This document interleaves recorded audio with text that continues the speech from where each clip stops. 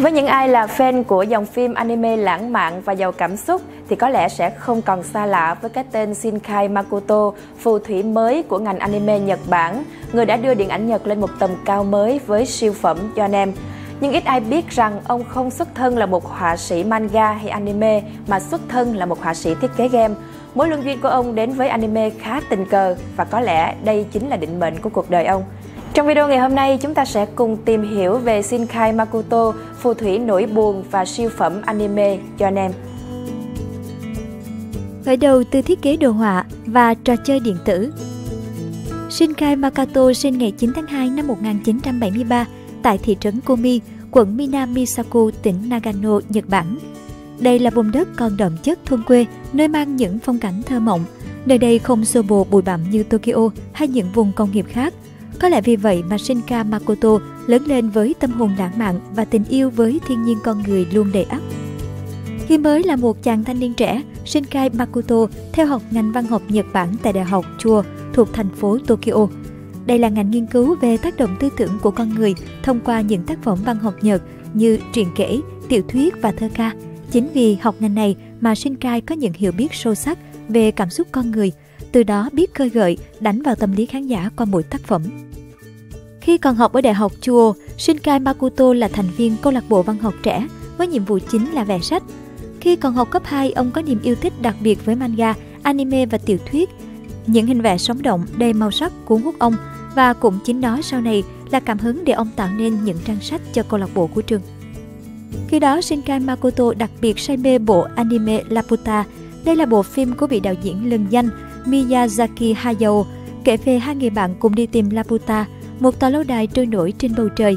Cả bộ phim là những cuộc trượt đuổi tranh chấp giữa các thế lực khác nhau, nhưng cuối cùng tất cả đều thất bại trước tình bạn của hai nhân vật chính. Dễ hiểu khi bộ phim này trở thành phim yêu thích nhất của Makoto khi nó trong sáng, giàu yếu tố tưởng tượng, hợp với phong cách của ông sau này. Năm 1994, ông tốt nghiệp Đại học Chuo, sau đó ông thiết kế đồ họa và làm phát triển video game tại công ty Fancom. Đây là một trong những công ty lớn và là những nhà phát triển game lâu đời nhất tính đến nay tại Nhật. Tại đây, ông gặp đồng nghiệp là nhạc sĩ Tenman, người sau này viết nhạc cho nhiều bộ anime của Shinkai. Bước trẻ ngang sang điện ảnh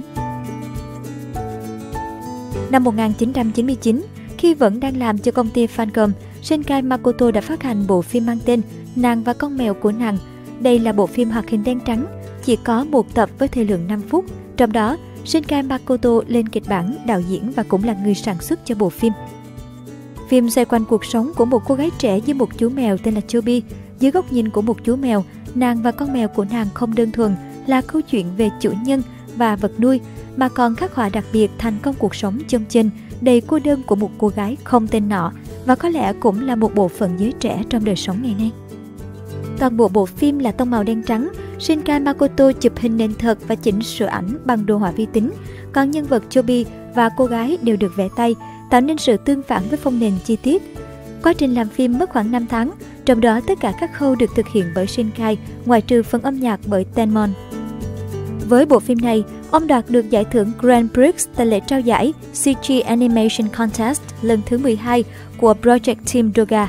Ngoài ra là giải thưởng Human Grand Prix hạng mục Skip Creative Human Award năm 2000. Sự thành công này chính là mốc đánh dấu bước chuyển mình từ mảng đồ họa sang lĩnh vực phim hoạt hình của Shinkai Makoto. Sau đó, Shinkai Makoto tiếp tục tìm kiếm ý tưởng cho dự án tiếp theo khi vẫn làm việc tại Fancom. Vào một ngày tháng 6 oi ả năm 2000, ý tưởng bất chợt đến với ông khi vẽ bức tranh về một cô gái trong buồng lái đang cầm điện thoại di động. Một thời gian sau đó, Mangazu liên hệ với ông đề nghị hợp tác bằng cách trợ cấp cho ông biến ý tưởng thành một anime. Vì vậy, đến tháng 5 2001, Shinkai nghỉ việc tại Fancom và bước chân vào con đường của một đạo diễn, nhà sản xuất và họa sĩ anime chuyên nghiệp những tác phẩm thành công liên tiếp. Kể từ khi nghỉ việc tại Fancom, Shinkai Makoto bắt tay vào thực hiện dự án anime mới. Sau 7 tháng, ông phát hành bộ phim Tiếng gọi từ vì sao xa. Bộ phim lấy bối cảnh năm 2047, Noburo và Mikako là hai người bạn thân nhưng đến một ngày, Mikako được tuyển làm thành viên của quân đội không gian Liên Hiệp Quốc và cô phải bay vào vũ trụ. Hai người chỉ có thể liên lạc qua những email bị gián đoạn bởi không gian và thời gian. Tiếng gọi từ vì sao xa không đơn thuần là một chuyện tình bình thường mà là chuyện tình vượt không gian và thời gian. Noburo và Mikako mất đến gần 10 năm để gặp lại nhau. Trong thời gian đó, những băn khoăn của đôi bạn trẻ ngày càng dày lên và tình cảm hai bên thực sự chịu thử thách rất lớn. Bộ phim này đã đạt giải thưởng AGM lần thứ 8, hạng mục nhà sản xuất xuất sắc nhất năm 2003. Tiếp sau đó là một bộ phim giả tưởng khác mang tên Bên kia mây trời là nơi hẹn ước, phát hành ngày 20 tháng 11 năm 2004. Phim lấy bối cảnh Nhật Bản hư cấu, nơi bị chia cắt hai miền và chịu sự thao túng từ các cường quốc khác. Bộ ba bạn trẻ Hiroki, Sayuri và Takuya mang theo sứ mệnh giải phóng đất nước khỏi cảnh chia cắt. Hầu như những độc giả yêu quý bộ phim đều nhận xét rằng họ bị thu hút bởi tính nhân văn của câu chuyện vì ba nhân vật đều là những người trẻ giữa cuộc chiến, song họ không chiến đấu bằng súng đạn mà lựa chọn tình bạn. Đây là phim đầu tiên của Shinkai Makoto có đội ngũ sản xuất, bằng chứng là chất lượng hình ảnh, âm thanh tốt hơn và thời lượng thì cũng tăng lên đáng kể. Sau thành công của những bộ phim viễn tưởng, đạo diễn Shinkai Makoto làm mới với một anime không có bất kỳ yếu tố kỳ ảo hay giả tưởng nào. Đó là bộ phim 5cm trên giây, được công chiếu lần đầu tiên vào ngày 3 tháng 3 năm 2007. Phim xoay quanh mối quan hệ của cậu bé Tono Takaki với một cô gái là bạn từ khi còn đi học vào khoảng những năm 1990 cho đến thời hiện đại. Nhưng giữa họ luôn có khoảng cách và chỉ liên lạc qua thư. Bộ phim trình bày một cách chân thật thế giới với nhiều góc độ khác nhau. Với sự xuất sắc của mình, 5cm trên dây đoạt giải phim hoạt hình xuất sắc nhất tại lễ trao giải châu Á Thái Bình Dương 2007, đồng thời đoạt giải bạch kim lớn Lancia tại Liên hoan phim chủ đề tương lai vì là phim có hình ảnh và hiệu ứng xuất sắc nhất. Đạo diễn Shinkai Makoto cũng đã phát hành bản light novel, manga và DVD của phim và đều có doanh thu cao. Sự thành công của 5cm trên giây là xứng đáng cho tài năng và tâm huyết của đạo diễn Shinkai Makoto. Sau đó, ông đã trải qua năm 2008 nghỉ ngơi tại London giống như một cuộc dạo chơi để tìm lại cảm hứng. Ông trở lại Nhật vào năm 2009. Tháng 11 năm 2010, ông tiết lộ tựa đề mới của tác phẩm là Những đứa trẻ theo đuổi tinh tú. Bộ phim tiếp theo đó là Khu vườn ngôn từ được phát hành năm 2013.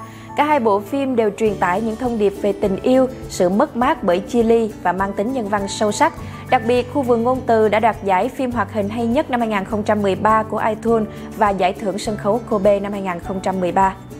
Bạn đang xem video trên kênh Người Nổi Tiếng. Đừng quên lại ghé thăm kênh mới của nhóm chuyên tổng hợp video về người thành công. Thông tin chi tiết xem bên dưới comment nhé các bạn. Your Name, siêu phẩm anime làm nên lịch sử phòng vé.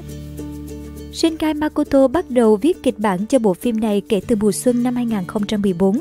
Ông lấy cảm hứng từ tác phẩm Inside Mari của Suzo Oshimi, Ranma 1 phần 2 tiểu thuyết thời Heian và truyện ngắn The Safe Deposit Ngoài ra, ông lấy ý tưởng từ những bài thơ cổ của nữ thi sĩ Ono Nokomachi, một số sự kiện có thật như trận động đất tại Nhật năm 2011 và vụ lật phà Seoul năm 2014. Quá trình thực hiện bộ phim nhận được sự giúp đỡ của rất nhiều người. Phát thảo sơ bộ của phim được Shinkai Makoto gửi đến nhà phân phối Toho vào tháng 7 2014 với tựa ban đầu. Nếu biết đó chỉ là giấc mơ, qua vài lần đổi tựa khác trước khi mang tên gọi cuối cùng, Kimi Nonawa Yonem, tên cậu là gì? Yonem là câu chuyện tình cảm kéo dài từ thời niên thiếu của những người trẻ tuổi. Cô bé Mitsuha sinh ra lớn lên tại vùng quê hẻo lánh, cảm thấy không công bằng với cuộc sống thôn quê buồn chán. Còn Taki là cậu học sinh bình thường ở Tokyo, cuộc sống đều đều trôi qua với bạn bè và đi học. Một ngày kia, hai người họ thức dậy trong thân xác của người còn lại. Rất nhiều những chi tiết kỳ ảo và lãng mạn được đưa ra nhằm giải thích cho sự kiện phi lý này. Phần còn lại của bộ phim kể về quá trình họ tìm ra nhau dù cả hai chưa từng gặp mặt.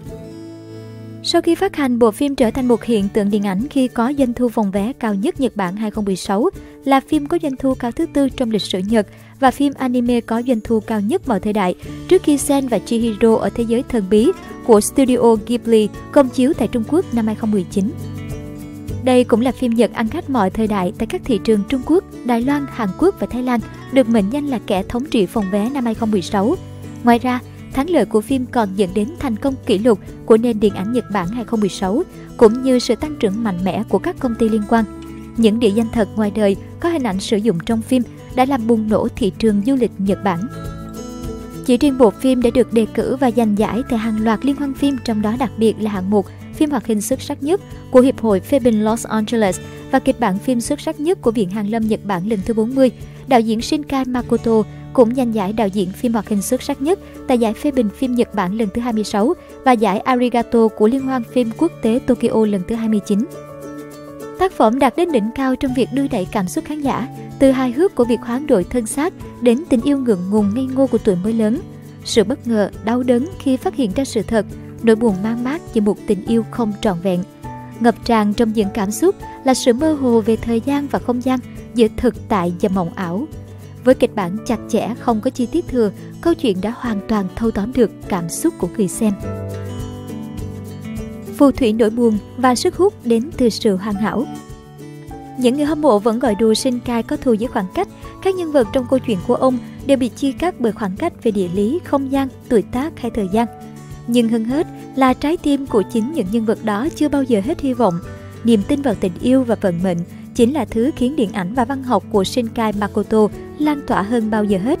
Ông đã chứng minh ngay cả nỗi cô đơn cũng thật đẹp và đầy hy vọng. Không thể phủ nhận mỗi khi xem xong tác phẩm của Shinkai Makoto, động lại trong ta vẫn luôn là nỗi dây dứt khó tả, những băn khoăn thất vọng về mối quan hệ đầy tiếc nuối của nhân vật trong phim. Vì vậy, Shinkai Makoto được mệnh danh là phù thủy nỗi buồn. Bên cạnh nội dung xuất sắc là kỹ thuật đồ họa được chăm chút kỹ lưỡng, những nét vẽ mềm mại, dịu dàng đặc biệt xuất sắc trong việc lột tả vẻ huyền diệu của thiên nhiên với những màu sắc rực rỡ của mặt trời, những cơn sóng cuộn trào, gợn bọt trắng xóa và vùng nước khẽ rung động khi một cánh hoa anh đào rơi. Khung cảnh thành phố đồng thời cũng hiện lên đầy sống động trong những thước phim thật và đẹp đến siêu lòng. Sau thành công của Yonem, đạo diễn Shinkai Makoto cũng được ca ngợi là Hayao Miyazaki thứ hai, nối tiếp thành công của tượng đài Ghibli đưa nền anime Nhật chinh phục khán giả toàn cầu. Tuy vậy, ông đã từ chối nhận danh hiệu này và cho nó là một đánh giá quá cao. Kỷ lục mới sau 3 năm vắng bóng Ngày 19 tháng 7 năm 2019, Shinkai Makoto phát hành bộ phim mới nhất Đứa con của thời tiết sau 3 năm vắng bóng.